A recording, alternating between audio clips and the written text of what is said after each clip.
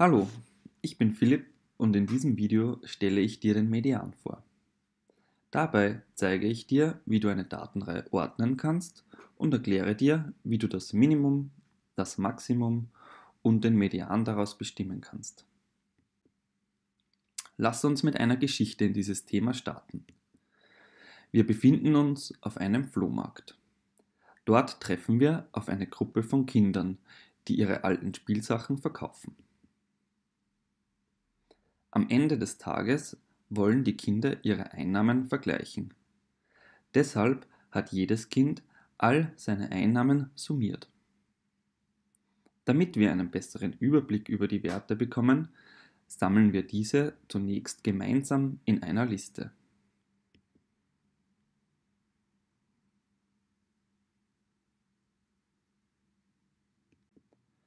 Im nächsten Schritt ordnen wir die Einnahmen der Höhe nach. Erkennst du den niedrigsten Wert?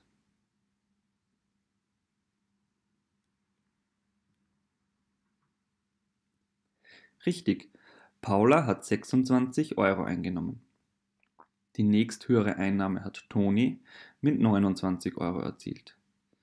Danach kommen Arin mit 30 Euro, Kim mit 32 Euro, Esra mit 34 Euro und Jona mit 35 Euro. Am meisten eingenommen hat Romy mit 40 Euro. Die Daten sind jetzt geordnet. Deshalb bezeichnen wir diese Liste als geordnete Datenreihe. In der geordneten Datenreihe findest du den kleinsten Wert ganz links und den größten Wert ganz rechts. Den kleinsten Wert der geordneten Datenreihe nennen wir Minimum. Es beträgt 26 Euro. Den größten Wert der geordneten Datenreihe nennen wir Maximum. Es beträgt 40 Euro. Der Median ist der Wert, der genau in der Mitte der geordneten Datenreihe liegt. Er wird auch Zentralwert genannt.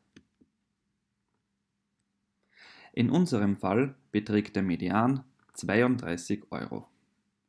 Eines der Kinder, nämlich Kim, hat genau 32 Euro eingenommen. Bei genauer Betrachtung erkennst du, dass drei Kinder weniger als Kim eingenommen haben und drei Kinder mehr als Kim eingenommen haben. Wir wissen außerdem, jedes Kind hat mindestens 26 Euro und höchstens 40 Euro eingenommen.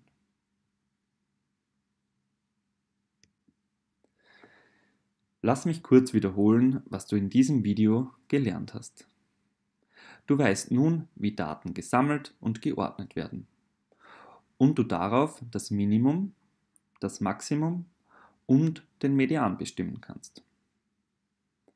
Im nächsten Video treffen wir die sieben Kinder wieder.